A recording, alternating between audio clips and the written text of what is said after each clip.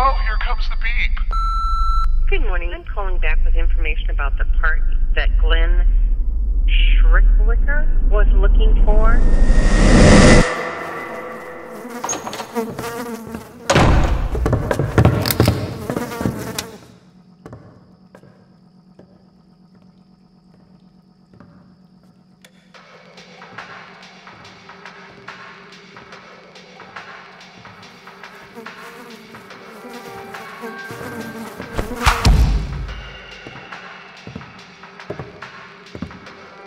Bye.